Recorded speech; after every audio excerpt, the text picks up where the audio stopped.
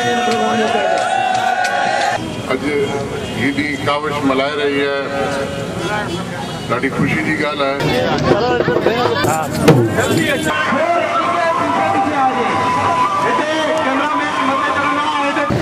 आहे हाँ।